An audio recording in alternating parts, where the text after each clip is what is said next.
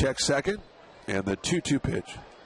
That swung line drive past Siriano and down the line. Rounding third base is Gale. He'll come in to score. Going to second base, Liriano. It's now 6 0. The Rivercats have not been good defensively in this game.